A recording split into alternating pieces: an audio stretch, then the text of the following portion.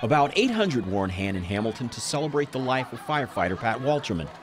Wolterman lost his life responding to an early morning fire December the 28th.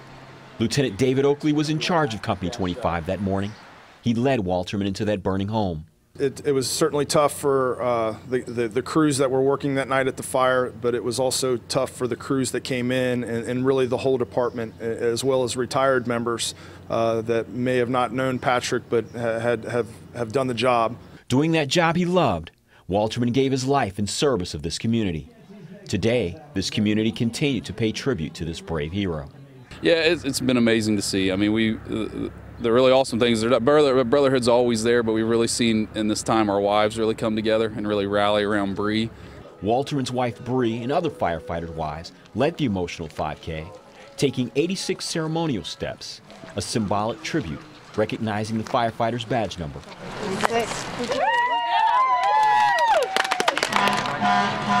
Runners and walkers then followed the course from Station 25, where Wolterman served during his career. It's been tough for everyone, uh, but we're, we're, we're, getting, we're getting through. Uh, we're moving forward. Uh, that's what Pat would want us to do. Uh, that's what we have to do. That's what we need to do. Uh, and, that, and that's what we're going to continue to do.